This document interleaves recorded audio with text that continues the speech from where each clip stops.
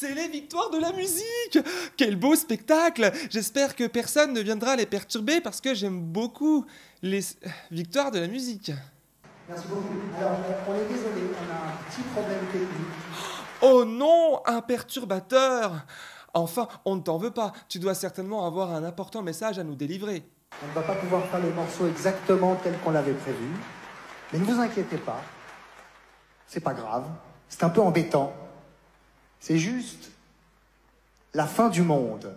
Euh, alors, euh, la fin du monde, c'est un poil plus embêtant qu'un simple problème technique. C'est un peu plus engageant, en fait. Parce que moi, j'étais d'accord, un petit problème technique, je sais pas, moi, euh, une ampoule cramée qu'il faut changer, par exemple. Pas de problème. Mais là, euh, la fin, non. Non, non, non. J'ai des trucs à faire, voilà. Alors, non, merci. Alors, rassurez-vous, c'est pas la fin du monde ce soir. Ouf, me voici rassuré. Chérie, finalement, tu peux préparer le dîner pour ce soir. On a changé de programme. C'est la fin du monde demain. Donc peut-être qu'en faisant tout ça, en disant toutes ces choses, euh, on va lâcher un petit malaise. Peut-être qu'on va passer pour des cons.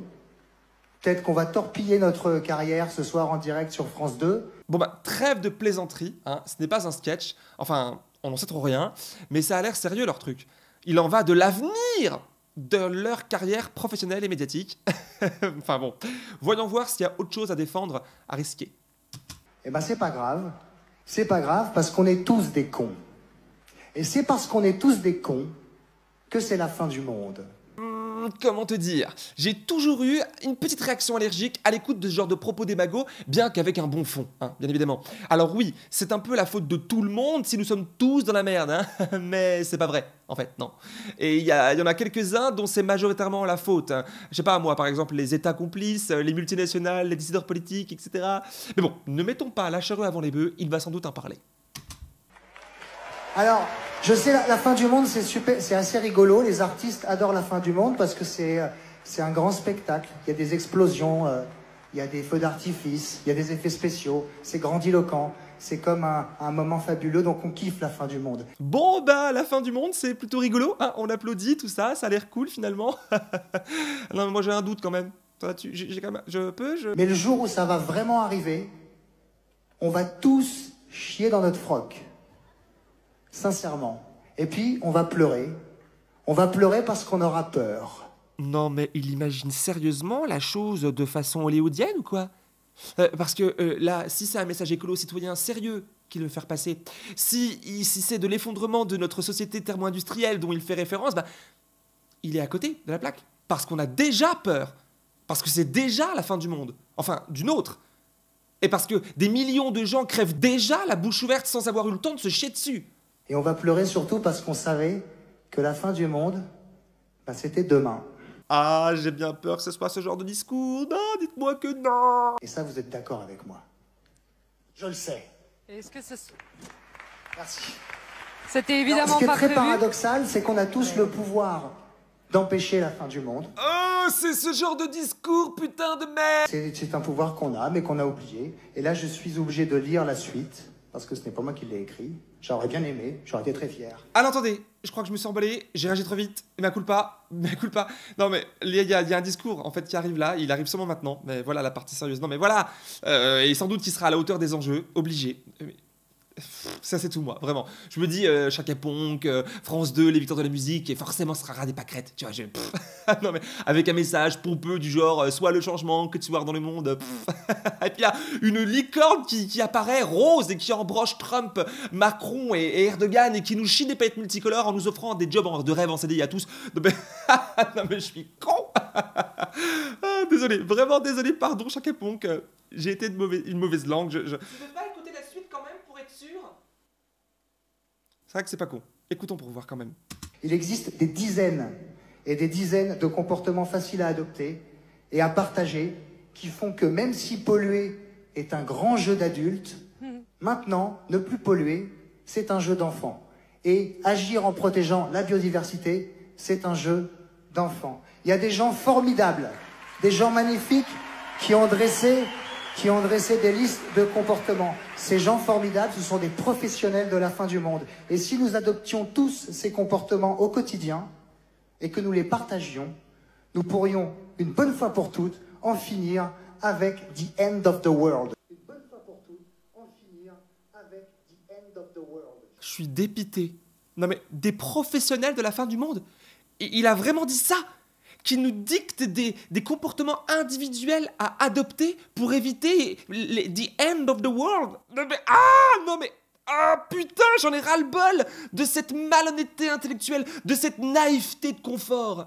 c'est à peu près la même chose. Bien sûr, j'entends déjà certains me dire que bah, c'est mieux que rien, que c'est déjà beaucoup de s'engager sur une scène pareille, blablabla, mais je ne suis pas d'accord. La technique du moins pire a déjà fait ses preuves que ça ne fonctionne pas, et ce depuis des décennies, putain. Donc stop The End of the World. Je fais une petite variante parce que sinon c'est un peu lourd. Lourd? Non, mais tu penses?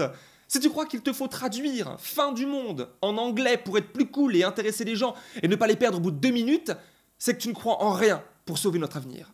Il se trouve justement que l'un des vecteurs les plus efficaces pour faire ceci, ce sont les gens qui sont ici ce soir, c'est-à-dire les artistes et les célébrités.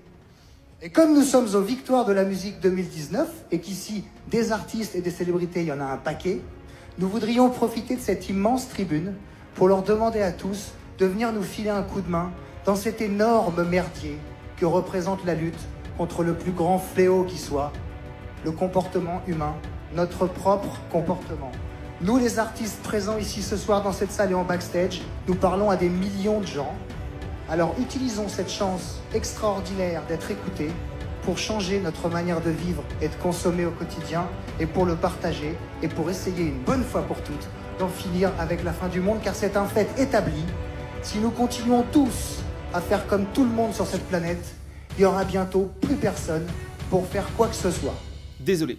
Oui, c'était long, c'était creux, c'était pauvre, c'était décevant.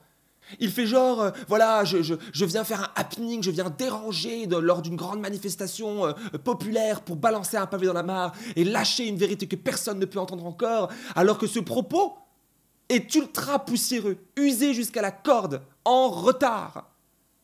Tu le sens le malaise en toi et dans le public même. Que les rageuses et rageux des internets se calment tout de suite. Je ne suis pas là pour juger le chanteur de Chaka Ponk. Non, non, non. Je ne le connais pas personnellement. Je ne sais pas ce qu'il fait dans sa vie. Là, ce qu'il m'importe, c'est uniquement le discours politique qu'il tient. Car c'en est un. Et c'est déjà en soi un bon gros merdier pompeux.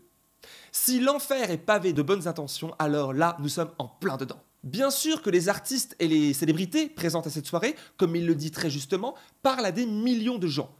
Je suis même moi-même persuadé que de ce constat naît un devoir d'engagement citoyen et politique à la hauteur des enjeux propres à l'époque où ils vivent. À la hauteur des enjeux propres à l'époque où ces artistes vivent. Et c'est justement là que ça pêche. Nous vivons une catastrophe planétaire, un effondrement total de la biodiversité causé par la sauvegarde d'un système économique prédateur et politique néolibéral piloté par des élites sociales n'existant que dans cette réalité qui entraîne le monde entier à sa perte. Et que nous propose ce chanteur pour faire face à cette urgence inédite dans l'histoire de l'humanité? Réduire ses déchets plastiques et rouler en voiture électrique.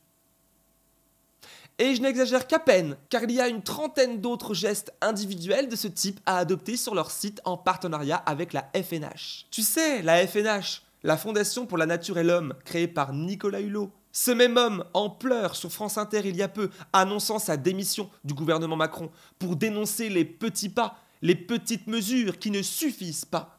Pourtant, ce sont là les mêmes petits pas qu'on nous vend comme la solution miracle pour nous sauver, nous et notre monde, alors en proie à un capitalisme sauvage.